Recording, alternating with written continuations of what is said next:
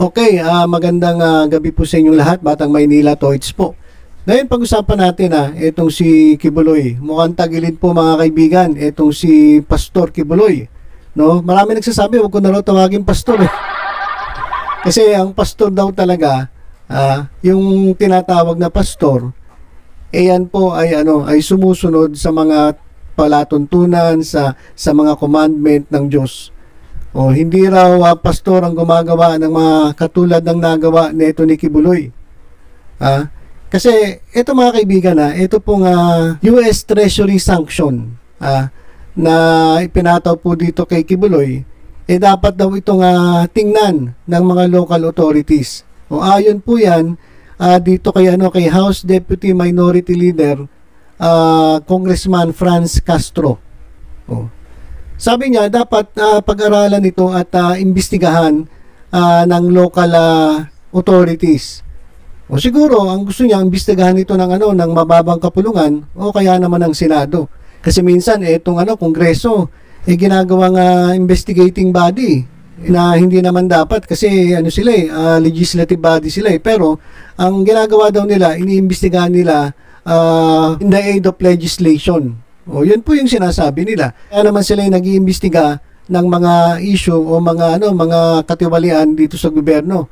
Kaya naman ang sabi nito ni ano ni Congressman Castro, no, dapat tingnan ito. Tingnan ito ng mga otoridad at imbestigahan ng mga local authorities etong mga illegal activities ni Kibuloy dito sa Pilipinas. At sabi niya dapat walang sacred cow, sacred cow dito. O dapat ah, hindi porke ah, ah, malapit ka kung kani-kanino, ah, malapit ka kay Presidente Marcos, sinuportahan mo si Presidente Marcos, eh hindi ka na iimbestigahan. So dapat daw eh walang sacred cow. O sabi po yan ni Congressman Castro.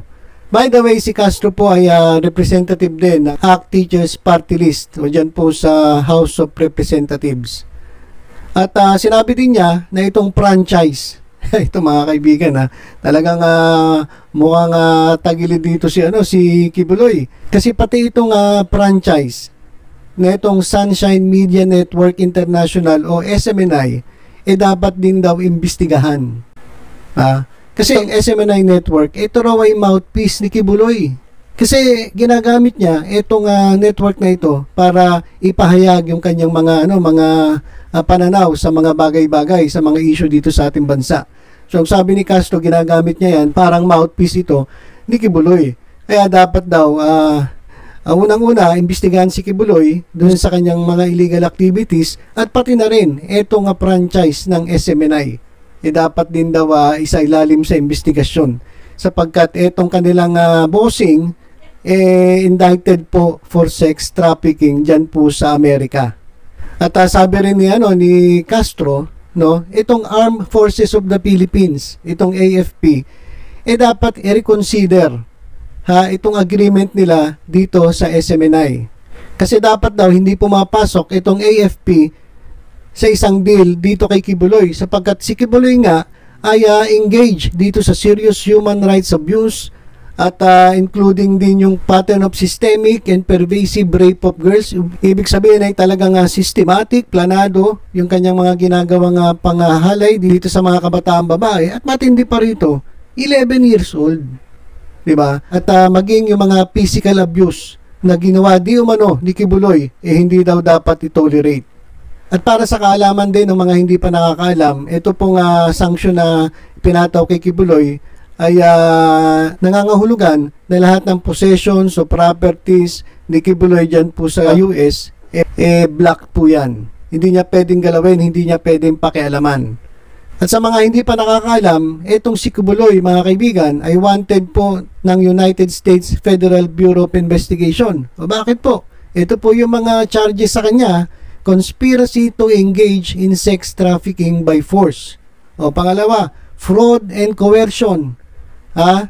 Sex trafficking of children. Sex trafficking by force. Fraud and coercion. Conspiracy and bulk cash smuggling. So yan po yung ano, yung mga kinaharap pong charges dito kay Kibuloy. Kaya naman sabi ni ano, sabi ni Congressman, sabi ni Congressman Castro, eh dapat yan imbestigahan no, ng local authorities. Kasi kung ginagawa niya yan sa Amerika, malamang ginagawa din niya ito sa Pilipinas. So dapat tingnan ito ng otoridad. At ayon kay Congressman Castro, dapat walang palakasan dito. Ah, walang sacred sacred cow dito. Hindi porke uh, uh, sinuportahan mo si Presidente Marcos at nanalo bilang presidente, eh okay ka na. Ah, pwede mo nang gawin lahat ng kalokohan na gusto mong gawin. Ah, pero mo itong mga abuso ka ng uh, mga bata, gagamitin mo yung iyong uh, sinasabing uh, simbahan at gagamitin mo ang salita ng Diyos para gumawa ng katulonggisan dito sa mga biktima, di ba? Ito pong mga ganitong gawain ay hindi po dapat yan pinalalampas. Dapat yan po ay talagang tinitingnan ha, ng ano ng autoridad. Dapat nga imbestigahan ito ng Kongreso eh. Ha?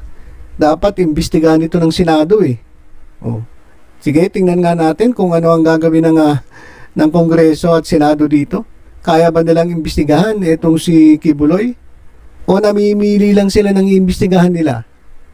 Ah, so dapat bigyan ng pansin ito, no, ayon kay Congressman Castro. Kaya, nako, mag-iingay na naman yung mga supporter ni Kibuloy dito. Ah, etong ano, ah, nako, alam niyo na kung sino mga kaibigan. Marami po talagang ano, uh, kakampi itong si Kibuloy dahil nga ito ay uh, alam nyo na talagang taga-suporta ni dating Pangulo Rodrigo Duterte. Ah, talaga malapit ito sa mga Duterte kasi taga Davao din to eh. Ah, miyembro po ito ng Davao Boys eh. Oh, kaya tingnan nga natin, kaya niya ba imbestigahan itong miyembro ng Davao Boys? Oh. Yan po hihintayin natin, yan po nga abangan natin. Sana magkaroon po ito ng development at uh, dapat lang no dapat lang na maimbestigahan etong mga illegal activities ni Kibuloy dito sa Pilipinas. Hello mga nanonood dyan, mag-subscribe po kayo sa Batang Maynila Toys. Ay, mali, ganyan pala.